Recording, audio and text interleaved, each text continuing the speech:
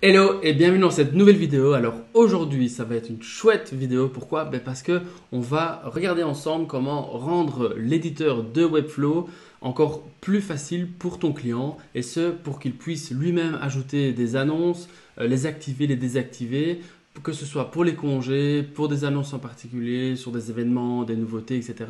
Tout ça sur Webflow, toujours avec les mêmes fonctionnalités, sauf qu'ici, on va rendre ça vraiment super ludique. Allez, c'est parti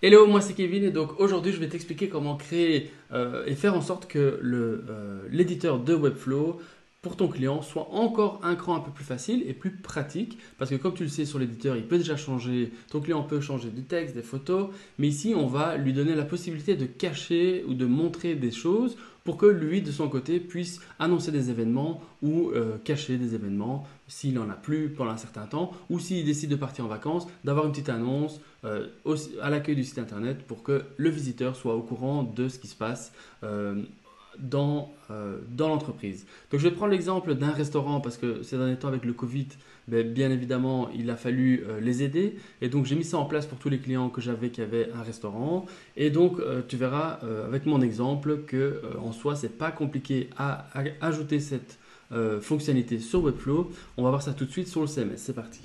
Donc ici, on est sur mon compte Webflow et je vais aller chercher mon client. Comme ça, tu vois directement à quoi ça ressemble. Donc là, voilà, j'ai euh, mon client, donc c'est un restaurant euh, gastronomique euh, à Bruxelles qui, qui s'appelle Alain Bianchin. Et l'idée c'était de pouvoir lui donner la possibilité de, eh bien, de, montrer ou pas une annonce. donc là, du coup, il n'y a rien du tout.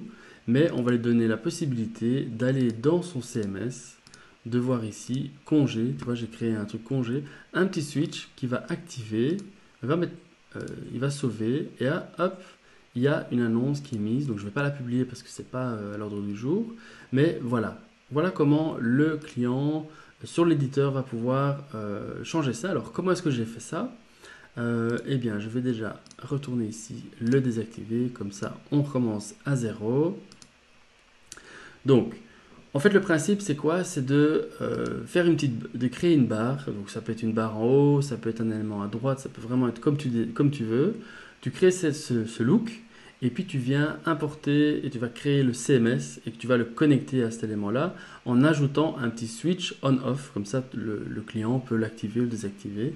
Donc, ici, on va mettre annonce 2. Donc, je vais créer d'abord le euh, CMS. On va annonce 2. On va l'appeler, bah, le nom du, c'est le nom de, l'événement. On va lui donner un petit texte, un espace texte pour qu'il puisse écrire la phrase. Euh, qu'est-ce qu'on peut mettre d'autre? Tu peux mettre tout ce que tu veux en fait, hein. mais disons qu'on va en rester là et peut-être mettre euh, euh, un lien.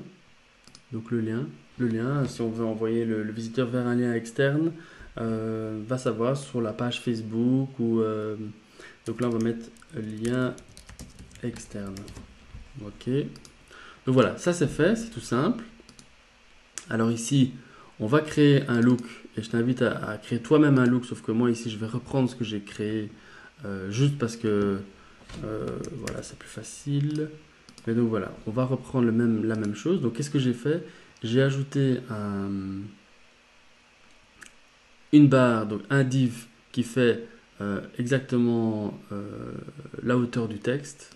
Et la hauteur du texte, elle fait ici 16 pixels et j'ai mis 30 de hauteur, donc comme ça c'est euh, plus pratique. Alors, dans, donc une fois que tu as créé l'élément, donc là on le voit pas, mais en fait il est là. Donc quand tu as créé l'élément, tu vas le connecter en fait euh, au CMS que tu viens de créer. Donc le principe c'est quoi? C'est qu'on va ajouter un CMS, donc la collection. On va mettre ça tout en haut, donc je vais mettre à droite. On va mettre ça tout en haut, près de mon élément en question. Hop, je vais le monter. Ok, on va le connecter donc à cette nouvelle annonce 2 qu'on vient de créer. Voilà, rien de spécial jusque là. Mais par contre, on va introduire donc dans la collection item, on va venir ajouter. J'ai remarqué qu'il y avait des petits. Allez. Voilà, je vais les copier-coller. Ça va. Parfois, il rentre. Allez. Ma souris clique sur rien du tout. Donc je vais le mettre comme ça. Donc paste. On peut pas. Pourtant il est déconnecté en principe de tout. Ouais, j'ai remarqué que parfois ça faisait ça. il peut très bien rentrer dedans, c'est juste qu'il ne veut pas.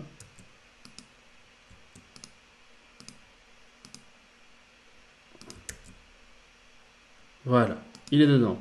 Ouais, c'est bizarre, c'est un petit bug, mais il est dedans. Donc, une fois qu'on a ça, bien entendu, on va euh, venir choisir... Euh, bah, J'aurais pu mettre en fait une couleur en plus, donc je peux rajouter ici... Euh, on va déjà créer l'annonce. Donc, congé 2, texte, et puis le lien. Donc on va mettre un lien externe, disons comme Ok, mais on va y ajouter encore juste euh, l'élément couleur, parce qu'on peut même choisir la couleur. Donc on va mettre euh, la couleur. Et on va aussi mettre bien entendu le switch, sinon il ne va pas pouvoir l'activer et le désactiver. Donc en gros, là maintenant, on a vraiment tout. Donc là, on retourne sur notre élément on va avoir ici, on va connecter ce texte avec le texte. Donc là, on voit texte. Euh, en fait, je dois, ce que je vais faire, c'est euh,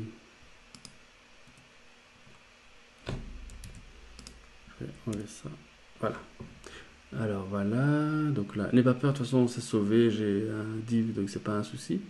Euh, donc là, et la couleur, en fait, on va pouvoir choisir la couleur. Donc on va pouvoir choisir la couleur et ici mettre une couleur. Donc là, disons qu'on veut vert.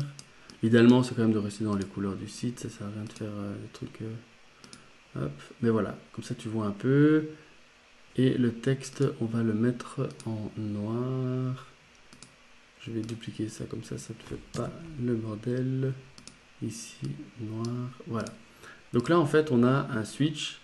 Euh, ah oui, dernière chose, pour que ça fonctionne, tu vas sélectionner la collection en question et tu vas la faire apparaître uniquement si le switch est actif. Donc, on va faire en sorte de, faire ça ici. Donc, on va filtrer euh, switch is on. Ok? Donc là, il est on. Et là, on a un, l'état vide. Donc là, le problème, c'est que ça, va être marqué état vide. Donc là, le, but du jeu, c'est de euh, rendre ça euh, transparent.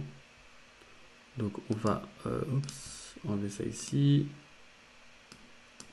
Non, en fait, on va tout simplement mettre ça comme ça, caché. Voilà. Donc là, on l'a caché. Donc on a l'élément qui est là. Et comme il est désactiver. On va venir l'activer et il va apparaître. Voilà. Et donc, ce qui est pratique maintenant, c'est que le client, dans son éditeur, donc quand il va aller dans la partie éditeur, il va pouvoir lui-même changer, euh, activer, désactiver, ou même ajouter une annonce, ajouter un texte, changer la couleur, euh, comme il le souhaite. Donc, tu vois, il va dans Annonce, il va euh, donc dans collection, donc là il y a annonce et annonce 2, ce qu'on vient de faire nous c'est ici, annonce 2, euh, et donc, j'ai écrit congé, congé 2, ok, voilà, le switch il est activé, donc on voit bien que il est activé, voilà, mais si je vais ici et que je le désactive, voilà, il disparaît. Donc voilà comment appliquer et comment faire en sorte d'aller un peu plus loin avec l'éditeur pour permettre à ton client de lui-même changer, d'activer des, choses qui fait apparaître ou disparaître quand il, le souhaite. Donc tu vois que tu peux être vraiment créatif avec ce CMS Webflow qui est ultra puissant. Donc voilà un petit élément qu'on peut faire, mais on peut encore aller plus loin, bien entendu. Ici, je te donne un petit, un petit avant-goût. Si tu veux aller plus loin, si tu as des questions, des idées, ça se passe juste en dessous dans les commentaires. Allez, je te dis à demain pour une nouvelle vidéo. Ciao